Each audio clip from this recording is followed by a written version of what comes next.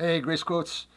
Uh, Ephesians chapter 5, verse 18 says this And do not get drunk with wine, for that is dissipation, but be filled with the Holy Spirit.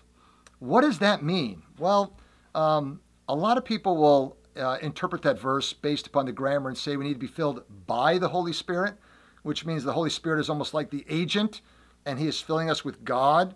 That could be true, but I'm just going to go with the traditional interpretation that it's the Holy Spirit himself that fills us.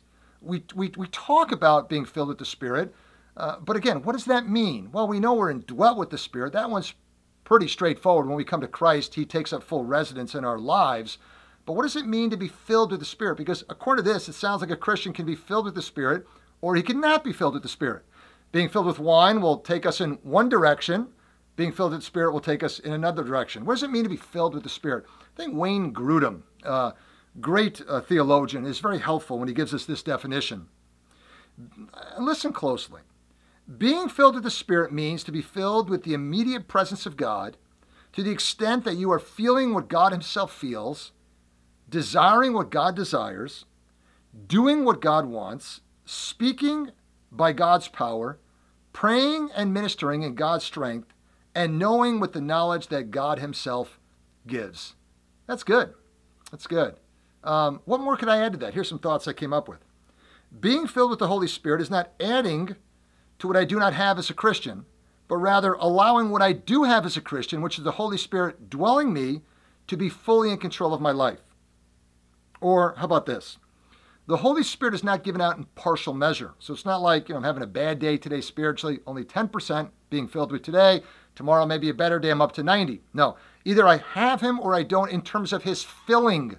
Of course, his indwelling is always there, but his filling varies. Either he's there or he's not. Or as Paul would say in Galatians, either I'm walking in the Spirit or I'm walking in the flesh. Because the Holy Spirit is not given out in partial measure if he's being allowed to control my thoughts and actions, I am being filled with the Holy Spirit.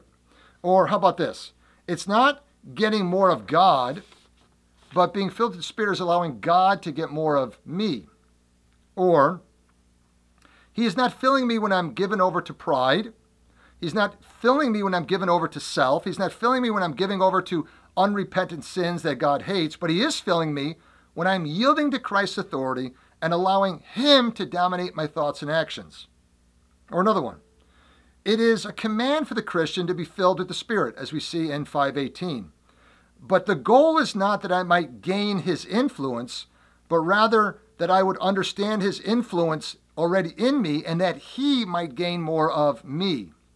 So the question we have today is Am I being filled with alcohol, as this verse says, or self, or am I being filled with sin, or am I being filled with the Holy Spirit?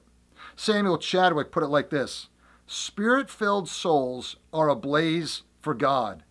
They love with a love that glows. They serve with a faith that kindles. They serve with a devotion that consumes. They hate sin with fierceness that burns. They rejoice with a joy that radiates. Love is perfected in the fire of God. That's what it means to be filled with the Holy Spirit.